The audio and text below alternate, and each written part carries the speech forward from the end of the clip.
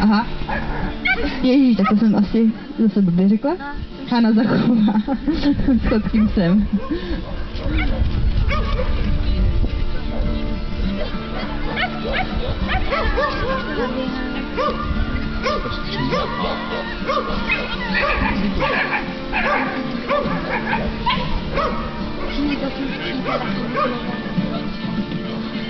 Prostě tady je.